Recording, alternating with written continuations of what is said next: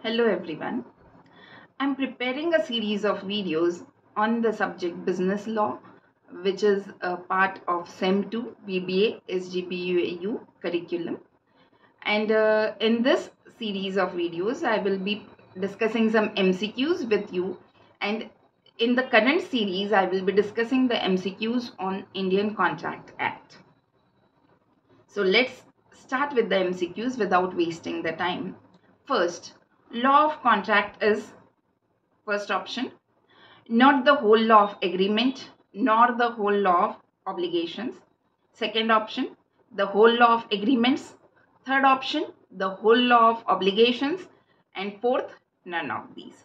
So the correct answer is law of contract is neither the whole law of agreements nor the whole law of obligations. Second question, a contract creates right in rem, right in personam, only rights, no obligations, only obligations, no rights.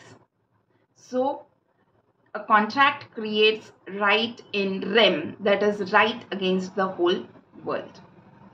Then the third is an agreement is voidable when it is first enforceable if certain conditions are fulfilled, second enforceable by law at the option of aggrieved party. Third, enforceable by both parties. And fourth, not enforceable at all. So, first we will, here we can do the elimination thing. Uh, like um, every agreement is enforceable by both the parties. Okay. So obviously वॉल्डेबल contract के लिए वो applicable नहीं होगा so we will eliminate the eliminate the third option enforceable if certain conditions are fulfilled so that will be contingent contract so the first option is also eliminated then not enforceable at all so again if it is not enforceable at all then it's not voidable contract it is void contract so the answer is second one. And again if you remember the definition of voidable contract so voidable contract is a contract which is enforceable at the option of aggrieved party which are the situations in which a contract is voidable. So first when the consent of the parties is not free the contract is voidable. Second if uh, one person is willing to perform the contract and the other person doesn't allow to perform the contract in that situation the contract is voidable Third, if time is the essence of contract and the contract is not performed within time, then the contract is voidable. Okay.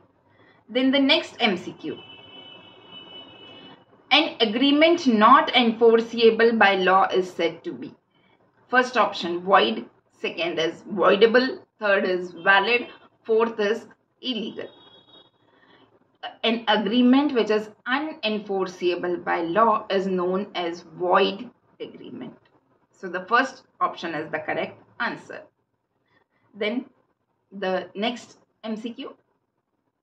A contract, first option, may be void as originally entered into.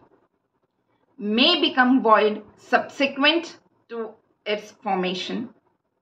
Third option, may, cannot become void in any circumstances. And fourth, may become void at the will of the parties. So just keep in mind, if it is a void contract, it becomes unenforceable subsequent to the formation. If it is, uh, if we say contract, then it cannot be void agreement means unenforceable from the beginning. Okay. So here it is a contract. Therefore, the first option is rejected. That first option was may be void as originally entered into.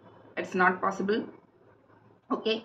Then the third option cannot become void in any circumstances. So we have discussed in the classification video um, that uh, in which situations the contract becomes void.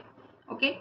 A contract which subsequently due to uh, supervening impossibility uh, due to the change in the circumstances due to the change in the law it becomes void so third option is also eliminated.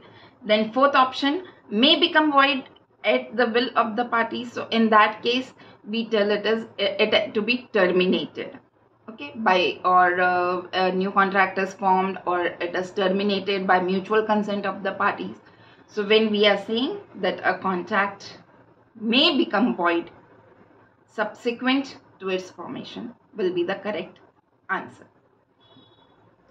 then the next is the transactions collateral to an illegal agreement are the first option is not affected in any manner.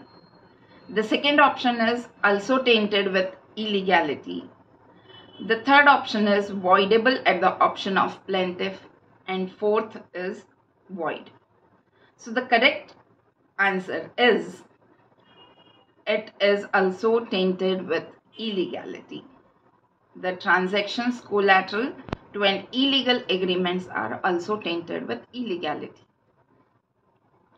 Then, a contract is a legal obligation, an agreement plus a legal obligation, third, consensus ad idem, fourth, an agreement plus a legal object.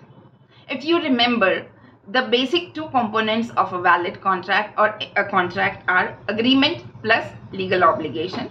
So the correct option will be an agreement plus legal obligation.